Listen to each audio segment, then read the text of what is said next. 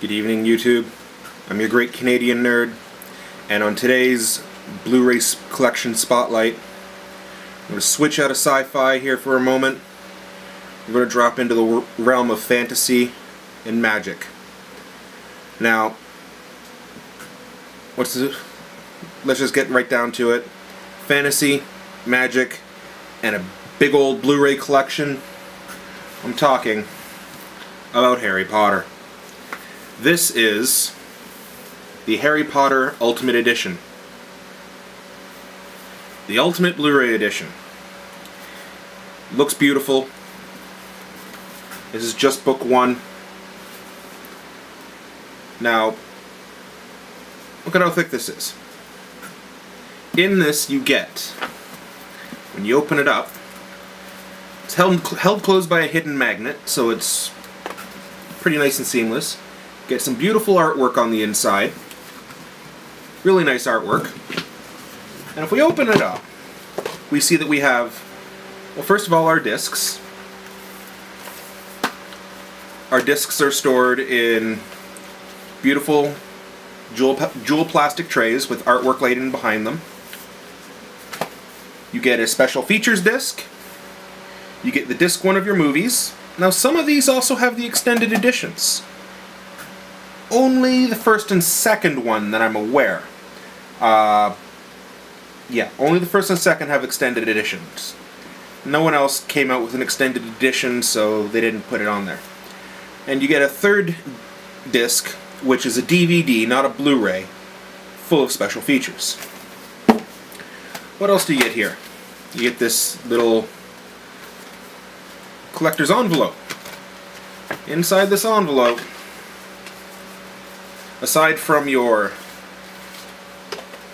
download code and your digital copy disc, you get beautiful.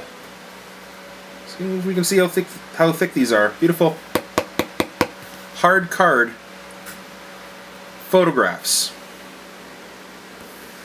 This movie year one comes with Harry and McGonagall. Almost like they were the wizarding cards, but not. And it doesn't end there. What comes in this collection? Oh no, they said ultimate. They're not going to stop at just giving you uh, a little bit of card there at extra. How about a color picture book? Each one focused on a certain part of the world. Year one focuses on creating the world of Harry Potter sets from all over the years. Like, here you go. Slytherin common room, Gryffindor common room. Good. Hardcover. Your children are going to have a slightly more difficult time damaging this than if they were look flipping through a paperback copy. It's going to stand up. It's going to stand the test of time. And it all stores very nice and neatly into the box. Now, that was year one. There's year two, year three, year four, year five, year six. And for the longest time, I thought it ended at year six. I was not able, I was getting so mad, so mad, because for the longest time I could not find year seven on Ultimate Blu-ray edition. It's because they didn't make it until about six or eight months ago. I've only found out about it last week. I'm super excited. These were originally, this set was originally going to be on the worst of my Blu-ray collection for the sole purpose of I did not have year 7. That they stopped the production of these without giving us a year 7. They've completed it. They came through. We now have a pure Ultimate Collection that covers all seven movies. All eight movies. Year 7 just happens to have both Part 1 and Part 2 in it. I am happy. I pulled this off the worst of list and put Fanboys on instead. This... This redeemed itself in my eyes. Now, here's, the, here's your character cards for year 2. Good old Rubeus and Severus. I actually haven't looked at all these since I bought them. I just pulled the discs out, got my downloadable code, and went from there. Now, what you also get with each one of these is you get documentaries. Each year has a different documentary. This year's documentary was creating the characters of Harry Potter. See what year three has in store for us. Now, I've heard a lot of people, you know, talking about, well, which Harry Potter collection do I get? Do I get the collection where it's just the eight discs on Blu-ray? Do I get the collection where it comes in the fancy trunk, otherwise known as the Wizards collection? Do I go after and hunt down the Ultimates? Do I just buy them all individually? Well, it comes down to personal choice. You can really do what you want to do. Um, however, if you're looking for a collector's piece, something that you don't care if it fits on a shelf, you want it to stand out, you want it to sit out proud on a display case, pick up the Wizardings collection because that's that's the fancy fold-out trunk. Um, but I have a bit of an issue in that with that, and that's that it's more expensive than going out and hunting down all of these Ultimate Editions. These Ultimate Editions fit really nicely on a shelf. They're only slightly taller than other Blu-rays. They're actually the same size as most Blu-ray box sets that you pick up for trilogies. So they like they're the same size as the Lord of the Rings box. They fit perfectly on the shelf. You can line them up, no problem. They don't stick out like a sore thumb. So here we go. Year three. Doc year three documentary is creating the creatures. I'll get you out the character cards here so you can see them. Oh, we've got Miss Granger and Sirius Black. And they're going back in the folding on the folded envelope because I highly doubt I'm going to pull them out again for a while. And these ones don't want to go back into their box. Lovely. So, you get them all, they're all stored in, looking at my notes here people, sorry. They're all stored in their plastic trays. All the discs are firmly held in. I bought year one and year two physically in store. Year four through six was delivered to me online. I ordered through Amazon. Uh, here we go. Year four, creating this sound and music. Let's face it, how many people don't get the Harry Potter music stuck in their heads? Because it's really easy. Ronald and Mad Eye. Those are your year four cards. I'm sorry, I'm not going to be able to show you the year seven cards because I don't actually own year seven yet. Year seven is currently in the Postal Service limbo. It will arrive to me when it arrives to me. Uh, not much I can do about it at this point. I've paid for it. I've got a tracking number, it's on its way, I just have to wait for it to show up.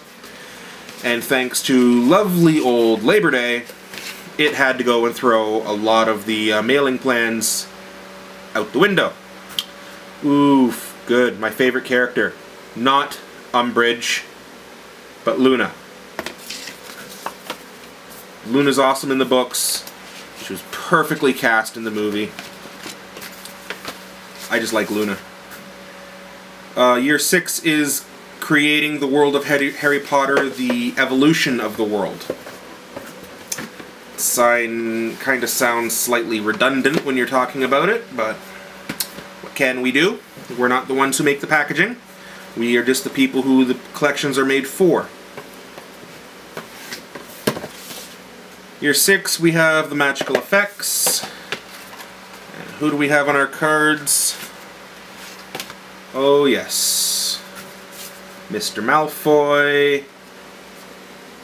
And we have Mr. Dumbledore. The second Dumbledore, but Dumbledore. It's really unfortunate that uh, Richard Harris was not able to complete the series. Uh, he will be missed. He made a fantastic Dumbledore.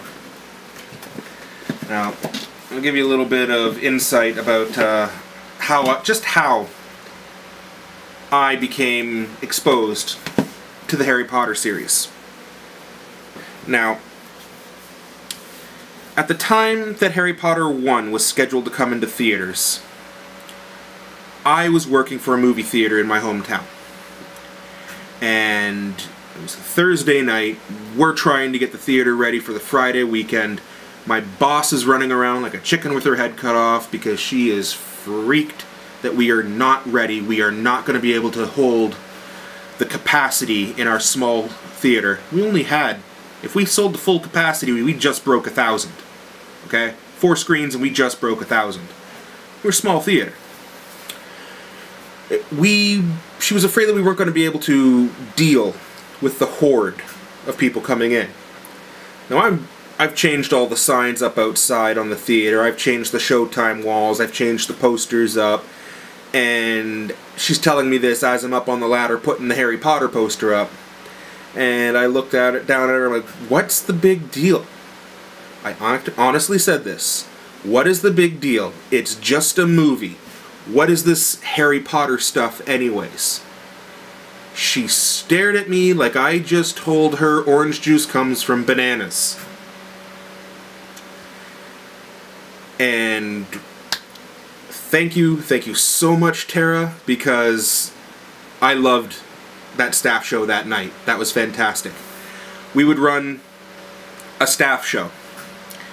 And we would run these staff shows for any staff members who were working that night who wanted to stick around, watch the movie, because we had to cut the movie, like splice the physical film together, and you watch it to make sure that you didn't screw up putting it together.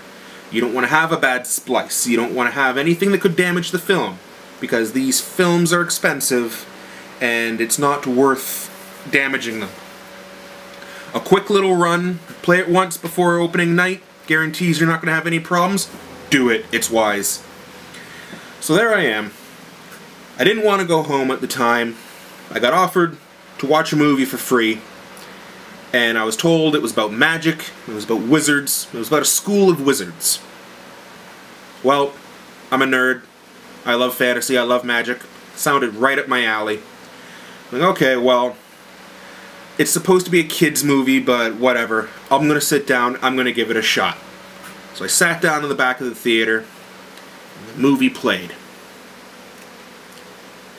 And when the door opened to Diagon Alley, I think that's the point when my jaw dropped. And I don't think it closed again until the end of the movie. I was I was blown away. My first experience with Harry Potter was watching The Philosopher's Stone. I went to high school the next day. As soon as class was done, grabbed a bus, went came down into the city, went to chapters, and I bought the first four books. And had to read them. Had to get caught up because I needed to know what Harry Potter was all about now. I saw the movie, I was hooked. I had to know it. So, if I didn't see that movie, maybe I wouldn't have had the love I have for Harry Potter. But it was fantastic. I enjoyed it. We actually did a couple of gimmicky things at our theater for it for kid for all the kids waiting in line. You showed up an hour early to wait in line to make sure they're going to get a good spot in the theater to watch the movie.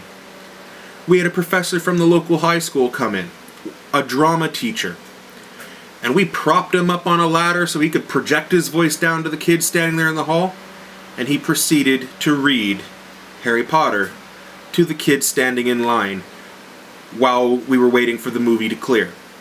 movie became clear, we movie came out, we rushed in, we cleaned up the theater, second group can go in, and not a single screaming kid. They were all perfectly happy.